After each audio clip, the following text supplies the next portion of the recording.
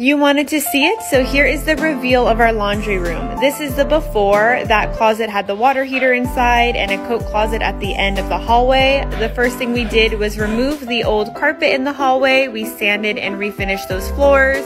Like the kitchen, we removed the three layers of linoleum in the laundry room and we actually knocked out those two closets. We put our water heater on the outside of the house we put in a new door for the backyard and Skylar built this built-in for our washer and dryer. So it looks like that. He put some paneling on it and we painted it the same green as our kitchen, reminder of the before.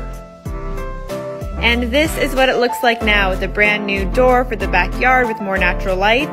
That is our broom closet. We are missing a door. It is coming in soon. And this is what this looks like. We completely opened up this hallway and made it look so much more open and spacious and roomy and bright.